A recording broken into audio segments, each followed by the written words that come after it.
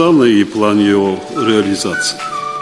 Приоритеты нашего председательства будут нацелены на обеспечение преемственности в Содружестве –